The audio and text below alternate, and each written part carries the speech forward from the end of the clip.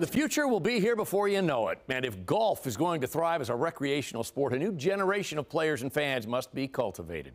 Who better to lead that charge in this metro than Kansas City's own eight time major champion, Tom Watson?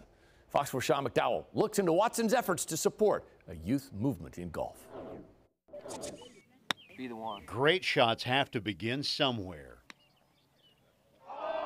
Golf is no longer an older person's game. Kansas City's own Tom Watson is seeing to that.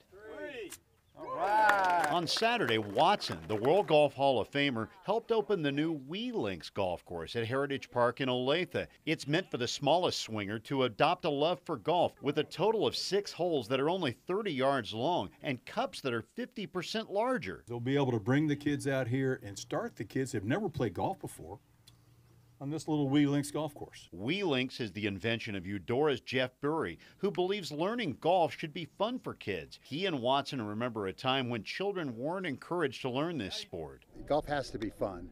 Uh, fun will motivate for a while, but really what will motivate is getting better. And playing the Wee Links, kids will all improve.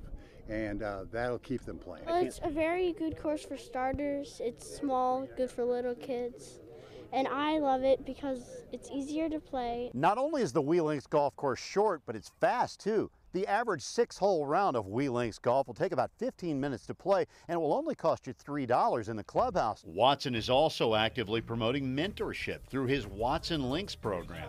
Watson's staff provided these images that show pre approved adult golfers taking kids to a series of 10 metro golf courses where they play at no cost. The mentors are, are people who have a passion for the game and a passion for uh, you know, playing golf and, and giving their passion to the kids. Got My goal is to get uh, close to 200 uh, new players. Watson's hope is to see their passion continue long after the rest of us have faded on. Sean McDowell, Fox 4, working for you.